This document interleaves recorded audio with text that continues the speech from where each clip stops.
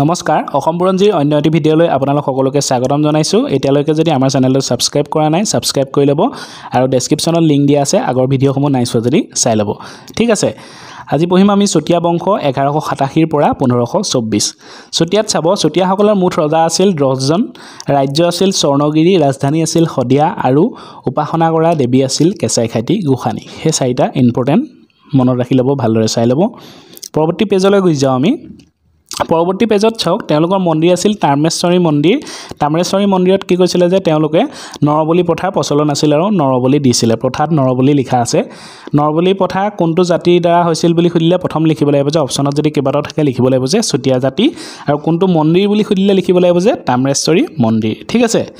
তাৰপিছত চাওক history of the চাহে নুই ইলিয়াছ চাহাবৰ এই গ্ৰন্থখনত লিখা আছে যে কোচি চুতীয়া ৰজা আছিল কোচি চুতীয়া ৰজা কোচিৰ সমসাময়িক আহোম ৰজা আছিল চুকাফা। মানে যেতিয়া চুকাফা অসমলৈ আহিছিল তেতিয়া চুতীয়া ৰজা আছিল কোচি। আৰু তেওঁৰ আগতে কি কৈছিলে যে ছত্ৰিছজন ৰজাই শাসন কৰিছিল। চুতীয়া ৰজা ছত্ৰিছজন বুলি ইয়াত লিখি থোৱা আছে চুকাফা অহালৈকে। মানে চুকাফা অসমলৈ কেতিয়া আহিছিলে? বাৰশ আঠাইছ চনলৈকে ছত্ৰিছজন ৰজাই ৰাজত্ব কৰিছিল বুলি এখন কিতাপত লিখা আছে। সেইটো কাৰণে চাওঁ মই প্ৰথমতে উল্লেখ কৰি আহিছোঁ যে দহজন। কিন্তু এইখন কিতাপত লিখা আছে আকৌ ছত্ৰিছজন কিয়নো পৰৱৰ্তী সময়ত গম পাব। ঠিক আছে পৰৱৰ্তী পৃষ্ঠালৈ গৈ লওঁ। চুতীয়া ৰজাকেইজনৰ বিষয়ে চাই লওঁ। প্ৰথম দহজন ৰজা। বীৰপাল তেওঁৰ অন্য এটা নাম আছিল গয়াপাল এঘাৰশ সাতাশীৰ পৰা বাৰশ বিছ। দ্বিতীয়জন আছিল ৰত্নধ্বজ পাল অন্য নাম আছিল গৌৰী নাৰায়ণ বাৰশ বিছৰ পৰা পোন্ধৰ বাৰশ পঁচপন্ন তিনি নম্বৰজন আছিল বিজয়ধ্বজ পাল তেওঁৰ অন্য এটা নাম আছিল শিৱনাৰায়ণ বাৰশ পঁচপন্নৰ পৰা বাৰশ সত্তৰ। চাৰি নম্বৰজন আছিল গৌৰধ্বজ পাল তেওঁ সময়সীমা বৰ বিশেষ উল্লেখো নাই আৰু প্ৰয়োজনো নাই। ঠিক আছে?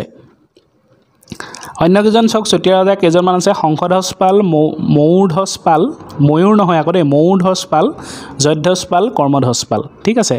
পৰৱৰ্তী পৃষ্ঠা পৰৱৰ্তী পৃষ্ঠাত আছে যে ধৰ্মধ্বজ পাল পোন্ধৰশৰ পৰা পোন্ধৰশ বাইছ এজন ইম্পৰ্টেণ্ট নীতিপাল পোন্ধৰশ বাইছৰ পৰা পোন্ধৰশ চৌব্বিছ। ঠিক আছে? তাৰপিছত আছে যে সাধক নাৰায়ণ বুলি এজন আছিলে এওঁ কৰ্তলীয়া ৰজা আছিলে তেওঁ পোন্ধৰশ চৌব্বিছৰ পৰা আছে। পোন্ধৰশ ঊনত্ৰিছ হ'ব লাগিছিলে ইয়াত অকণমান ভুল হৈ গ'ল চৈধ্যশ ঊনত্ৰিছ হৈ আছে পোন্ধৰশ ঊনত্ৰিছ হ'ব লাগিছিলে। ঠিক আছে আৰু এজনৰ নাম উল্লেখ আছে লক্ষ্মীনাৰায়ণ বা ধৰ্ম ধৰ্মনাৰায়ণ। ঠিক আছে তাৰপিছত চাওক যে মই দহজন ৰজা বুলি ক'লোঁ বাৰজন ৰজাৰ নাম উল্লেখ কৰিলোঁ এই দুজনৰ বিষয়ে পিছত ক'ম কি আছিলে সাধক নাৰায়ণ আৰু লক্ষ্মীনাৰায়ণৰ বিষয়ে। ঠিক আছে এতিয়া প্ৰথমজন চাওঁ চুতীয়া ৰজাসকল আমি চালোঁ প্ৰথমজন চাম যে বীৰপাল।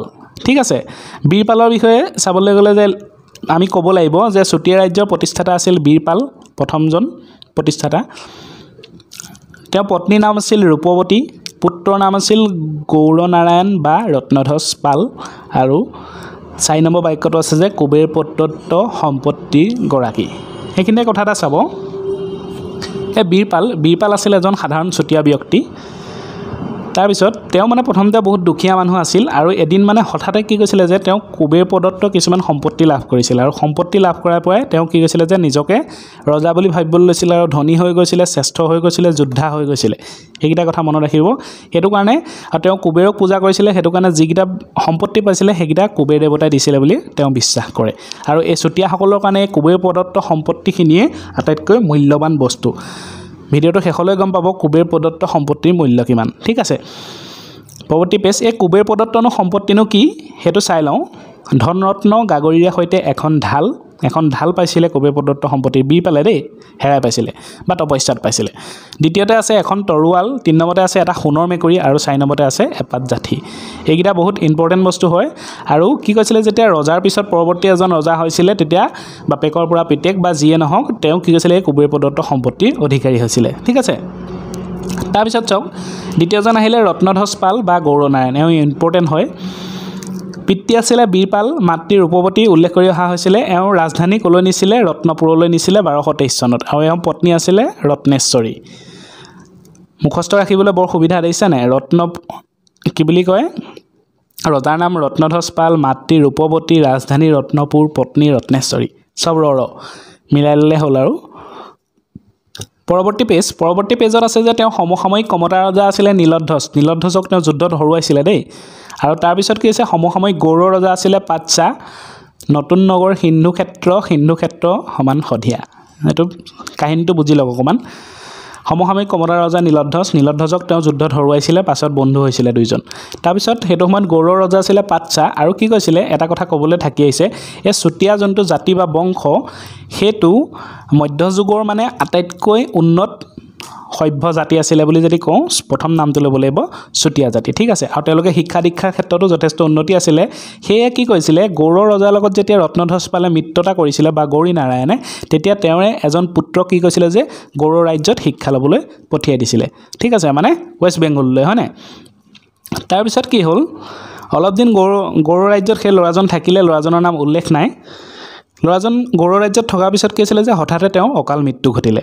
আৰু সেই কথাত কি আছিলে যে গৌড় ৰজাই বহুত দুখ পাইছিলে আৰু ফলত কি হ'ল তেওঁ শটো স সন্মানেৰে কি কৈছিলে যে গৌড় ৰজাই ক'লৈ পঠিয়াই দিছিলে চুতীয়া ৰাজ্যলৈ পঠিয়াই দিছিলে। আৰু সেইটো সময়তে কি কৈছিলে যে চুতীয়া ৰজা ৰত্নধ্বজ পাল এখন নতুন নগৰ নিৰ্মাণত ব্যস্ত আছিলে নগৰখনৰ নাম আছিলে সিন্ধু ক্ষেত্ৰ। আৰু সিন্ধু ক্ষেত্ৰত কি হৈছিলে যে তেতিয়া সেই ল'ৰাজনক আনি মেলি তেওঁক তাতেই শ দিয়া হৈছিলে। শ দিয়া হৈছিলে মানে বুজি পাইছে। মানে মৰা শটো দহন কৰা হৈছিলে বা পুতি থোৱা হৈছিলে যিয়ে নহওক শটো দিছিলে তাত। সেই তেতিয়াৰ পৰাই সেই অঞ্চলটোৰ নাম শদিয়া হ'ল বুলি ইতিহাসত উল্লেখ আছে। ঠিক আছে শদিয়া নামটো উৎপত্তি কেনেকৈ হ'ল বুলি যদি সোধে তেতিয়া এই কাহিনীটো মনত ৰাখিব লাগিব। শ দিয়া হ'ল মানে শদিয়া হ'ল। আৰু সেইটো কাৰণে এই সিন্ধু ক্ষেত্ৰৰ নামটোৱে কি হ'ল যে পৰৱৰ্তী সময়ত শদিয়া হৈ পৰিল। সেইটো একদম ইম্পৰ্টেণ্ট বস্তু মনত ৰাখিব। তাৰপিছত আহিব যে ধৰ্মধ্বজ পাল ধীৰ নাৰায়ণ গোটেইকেইজনৰ বিষয়ে ইম্পৰ্টেণ্ট নহয়। আৰু এটা কথা কৈ থৈ আহোঁ। এই ৰত্নধ্বজ পাল কি হৈছিলে যে ৰত্নধ্বজ পাল কিন্তু এওঁ এই চুতীয়া ৰাজ্যৰ শ্ৰেষ্ঠ ৰজা বুলি ক'ব নোৱাৰি কিন্তু শ্ৰেষ্ঠ ৰজা কোন সেইটো উল্লেখ নাই। সেইটো কাৰণে ৰত্নধ্বজ পালকে বা গৰিয়ানকৈ শ্ৰেষ্ঠ ৰজা বুলি ধৰা হয়।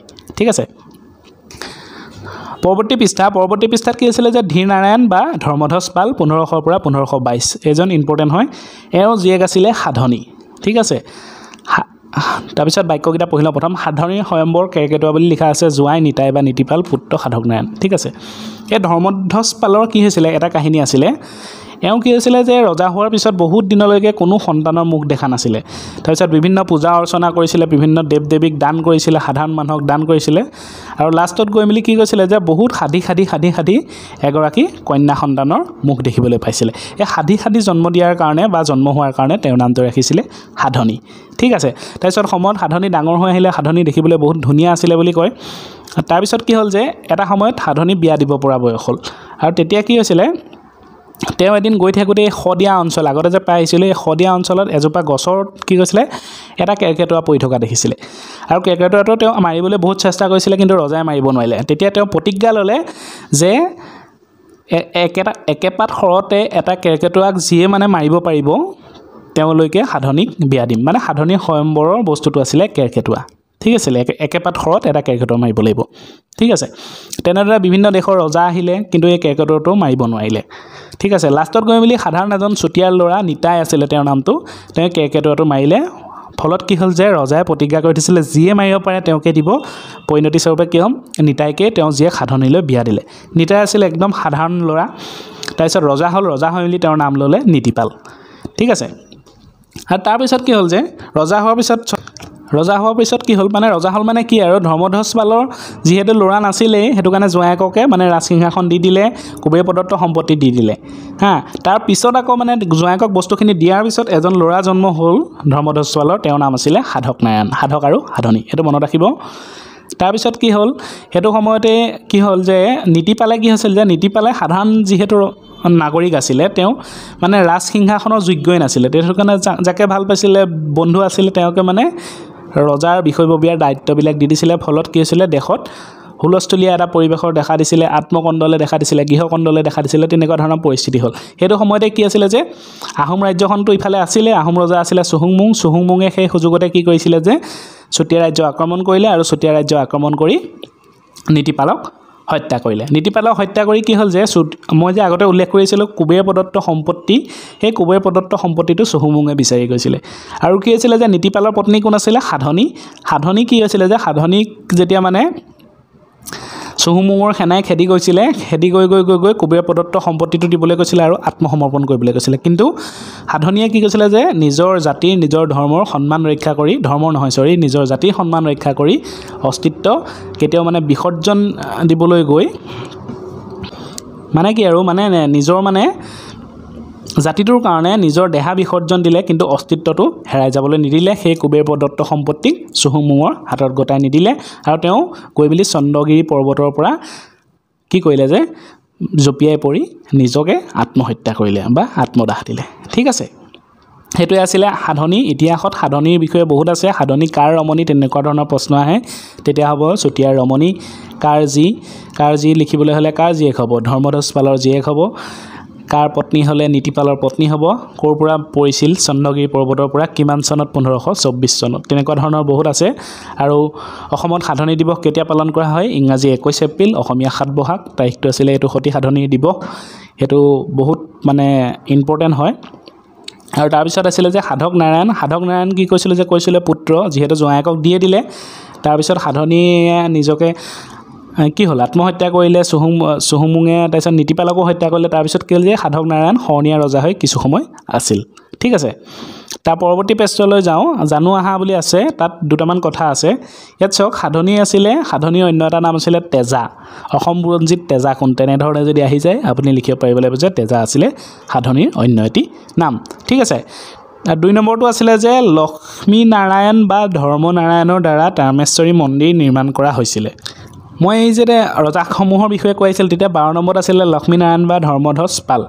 আৰু কিছুমানে কি কৈছিলে যে এই ধৰ্মধ্বজ পাল বা ধৰ্মনাৰায়ণ একেজনে বুলি ক'ব খোজে। কিন্তু যিহেতু সময়সীমাটো বেলেগ সেইটো কাৰণে ইতিহাসত এনেদৰে লিখা আছে যে লক্ষ্মীনাৰায়ণ বা ধৰ্মনাৰায়ণৰ দ্বাৰা তামেশ্বৰী মন্দিৰ ইটাৰে পুনৰ নিৰ্মাণ কৰা হৈছিলে।